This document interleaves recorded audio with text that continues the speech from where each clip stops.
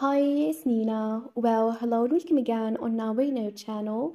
And today's video we're gonna talk about how to hide Instagram following list. So let's get started.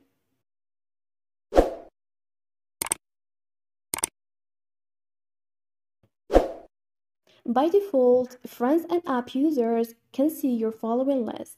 For example, here, let's check the following list of that account. So here are the accounts that this account is following. Now to hide Instagram following list, you have to make your account private. So move to your personal profile by tap on this icon. Then tap on the hamburger icon. After that, choose settings. A list of options will appear. So tap on privacy.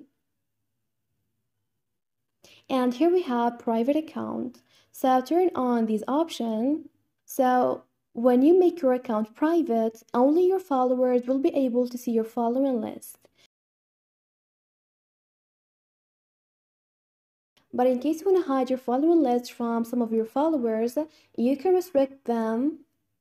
So scroll down and from connection choose restrict account. So if you restrict an account, they won't see you when you're online, when you read their messages, and they won't be notified when you restrict them. So tap on continue and look for the person you want to restrict. Now tap on restrict and like that, that account won't be able to interact with you or see your following lists.